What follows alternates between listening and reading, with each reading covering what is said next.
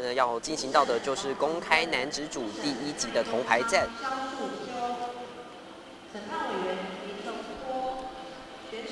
而接下来呢，即将上场的选手，白方的同学是辅仁大学的陈玉成，呃，另外呢，蓝方的选手是国立体大的陈维杰。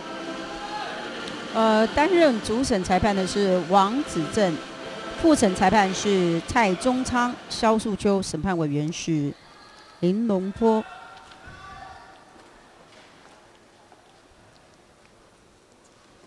而陈维杰呢，在去年的全大运哦，也是获得第二级的第二名。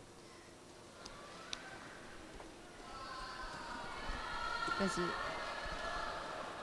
但是他今年呢是挑战第一级，对，所以他是降下降下来降体重了，对，那就看他这一次在第一级六十公斤级的时候会有什么样的呃，很好的表现。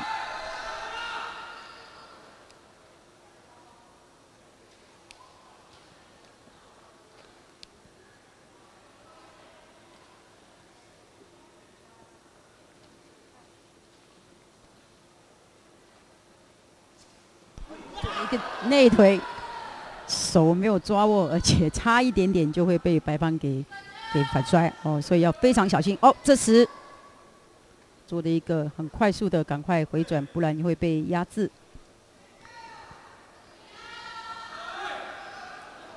嗯。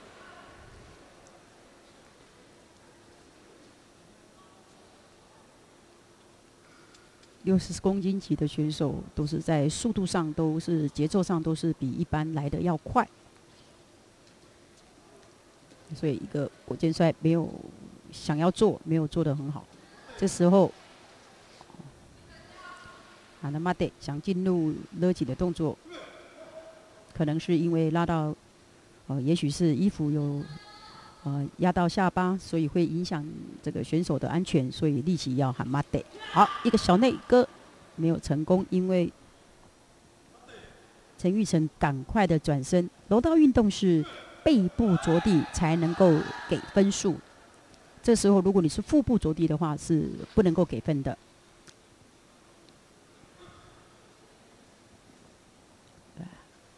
已经过了一分多钟，将近两分钟，哎。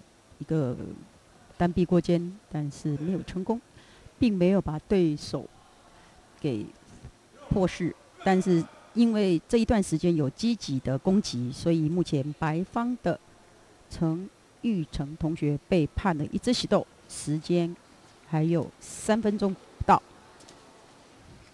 就要进入请剧。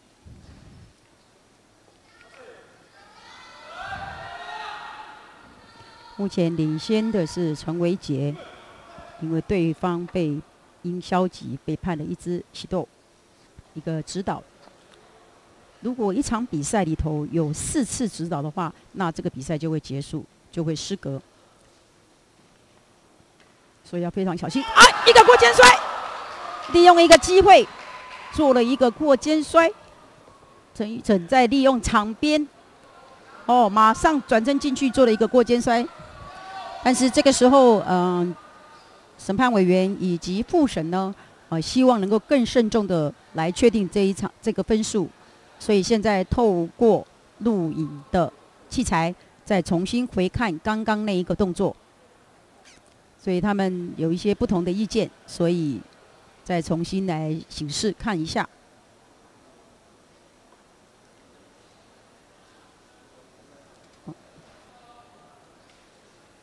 哦，哦，这个时候可能比较严重的处罚，所以希望主审能够跟他们做一个确认。